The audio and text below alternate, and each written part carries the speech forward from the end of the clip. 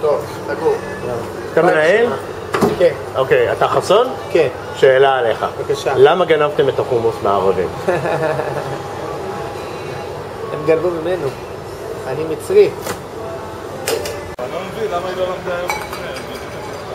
נו, למה גנבתם חומוס מהערבים?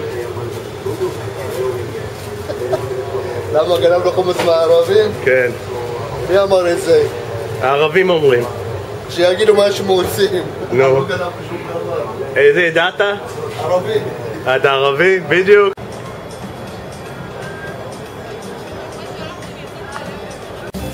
למה גנבתם את החומוס? מהערבים. למה גנבנו? כן. לא גנבנו, אנחנו עושים יותר, מש- יותר, יותר טוב משלהם. מה העדה שלך? איזה עדה אתה? אני מברס. היי. אתה, מי המנהל פה? אה. השאלה פה זה למה גנבתם החומוס מהערבים. למה מה? גנבתם החומוס מהערבים. יש ערבי שהגיש תלונה אצל פנימת על... כן? לא, באמת, יש, יש כזה תלונה במשטרה? לא. יש מישהו שנפגע? לא. תיק נסגר. אמר לך הפרקליט. מה? מה אמרו לך מהפרקליט? הפרקליט. נו, איזה עדה? אני עיראקי, חבר'ה, אני עיראקי, והחומוס שלי, והערבים שלחו להזדהן.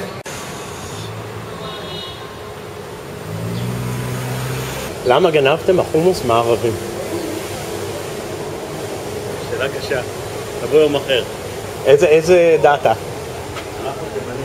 תימנים. למה גנבתם החומוס מהערבים? אני ערבי. אני לא יודע לענות לך. אתה המנהל פה?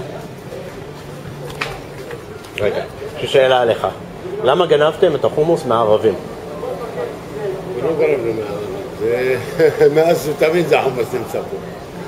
זה מאז ותמיד? מקום המדינה פה החומוס נמצא. מה? איזה עדה אתה? אני ערבי. למה גנבתם את החומוס מהערבים? מה? למה גנבתם את החומוס מהערבים? החומוס זה של הערבים. ולמה גנבתם אותו? אתה בעל המקום? סורי.